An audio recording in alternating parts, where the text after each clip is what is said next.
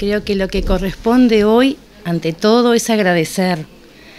Agradecer a cada uno de los que está presente acá por acompañarme en ese proceso de liderar la transición entre dos excelentes profesionales, como fueron nuestro querido inspector departamental, Juan Correa, excelente profesional, compañero, un ser humano y sobre todo creo que agradecerte Juan todos los aportes que hiciste a nuestros roles como inspectores.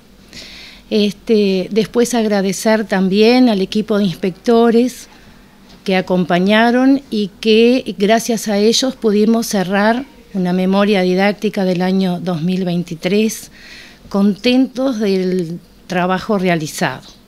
También agradecer a todos los que están acá, este, principalmente también a, los directores, a los funcionarios de inspección, este, eh, destacar el apoyo de Gabriel Granada y de nuestra secretaria, Gabriela, que siempre estuvieron atentos y que siempre me orientaron y apoyaron ante cada situación.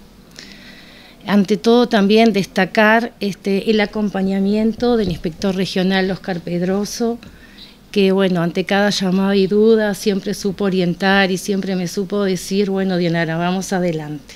Así que muchas gracias, Oscar, por todo.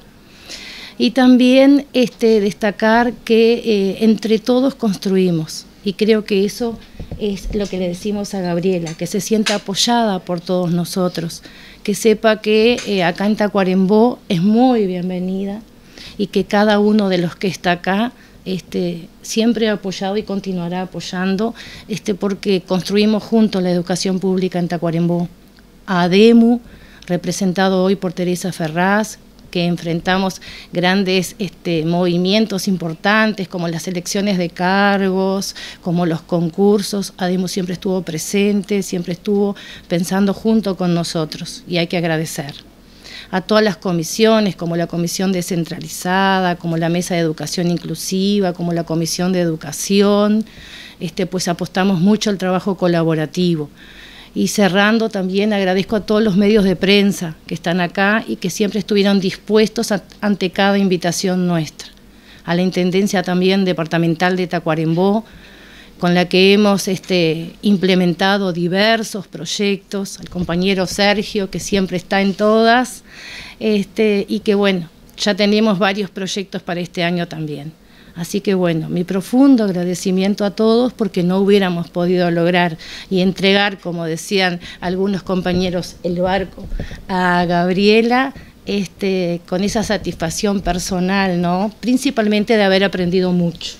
Así que gracias a todos los que contribuyeron a que yo pudiera crecer profesionalmente muchísimo en estos tres meses.